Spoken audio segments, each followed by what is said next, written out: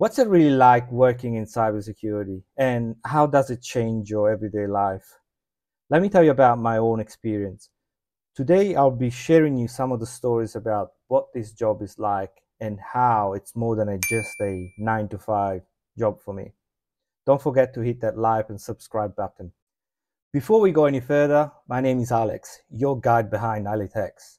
With over 15 years in cybersecurity, I've tackled digital threats in various capacities, from small businesses to large corporations. My passion lies in understanding and communicating the evolving landscape of cyber threats to people like you.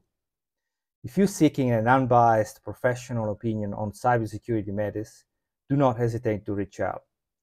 Join me as we explore the critical world of digital security together. The 90s presented a very unique landscape in cybersecurity. We were dealing with viruses traveling through floppy disks or CD-ROMs. The concept of email phishing was just emerging.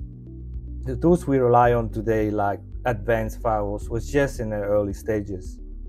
I vividly recall experimenting with viruses in my own network, observing their behavior and seeing exactly how they worked. This gave me a very hands-on approach to understanding their mechanics.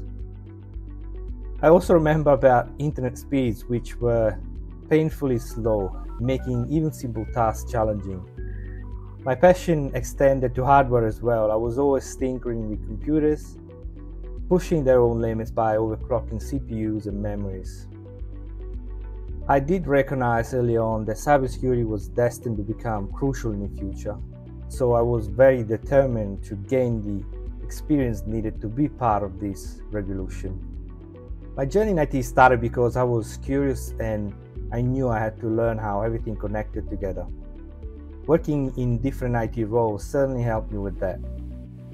These IT roles taught me a lot on how computers and network work.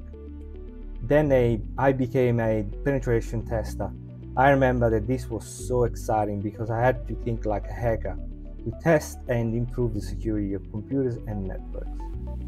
During my time as a penetration tester, I also learned something very fascinating how to reverse engineer malware. This meant taking apart harmful software to understand how it worked. I even changed its code to make it do different things on my own computer. This was like a secret lab experiment where I was both scientist and the detective. As technology evolved, so did the threats. What started as simple virus scans grew into complex battles against sophisticated malware and cyber attacks. But the lessons from the late 90s, such as adaptability, curiosity, and obviously resilience, they always stayed with me. Let's talk about one of the toughest challenges I faced during my career, and that was ransomware attacks. Picture this all your important data suddenly locked away with someone demanding money to release it.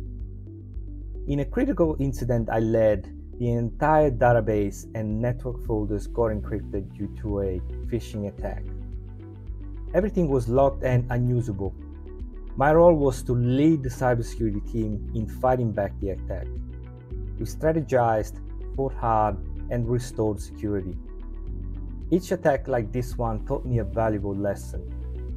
We learned to be more resilient, innovative, and ensure that our defenses were stronger to prevent further and future incidents.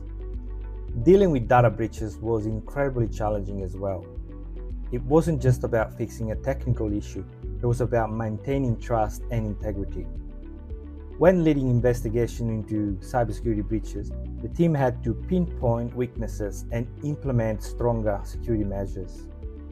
But then again, it was just not about reacting to an incident. It was about learning how to prevent them in the future. I often found myself collaborating very closely with different departments to quickly identify and contain breaches. Now, let me share how being in cybersecurity has changed my personal life. I've seen some real horror stories with cyber breaches, so I know what can happen behind the scenes. Because of this, I'm super careful with everything I do online, whether it's making payments, browsing, or simply chatting. I always think like a cybersecurity professional. I also double check websites to make sure they're safe, and I'm extra careful about sharing personal information. This job has taught me that being cautious online isn't just professional, it's a crucial part of my daily life. Looking back on my journey in cybersecurity, it's been a path of never ending learning and adapting. The cybersecurity landscape is constantly shifting, and the ways we protect it must evolve too. I often find myself awake late at night diving into white papers about new technologies and security architectures. This thirst for knowledge is key. It's what drives us forward in this field. It's not just about staying updated, it's also about staying ahead. This hunger for learning and adapting has shaped me into the cybersecurity professional I am today. For those of you who are stepping into the world of cybersecurity, be ready to embrace its challenges. Your curiosity and your will to keep going are the most important tools. In cybersecurity, every day brings a chance to learn something new and obviously to grow. It's true that breaking into this field can be tough without the right experience, but it's undoubtedly one of the most rewarding and challenging areas you can work in. My suggestion is to stay curious, always seek for more knowledge, and remember, every challenge is an opportunity for you to prove yourself and advance your skills. I've encountered some really tough situations in the past. Whilst these experiences were challenging at times, looking back, I realize how much I've learned from them. Each difficult moment turned to an incredible opportunity for growth and learning in my career. Thanks for joining me on this journey through my cybersecurity story.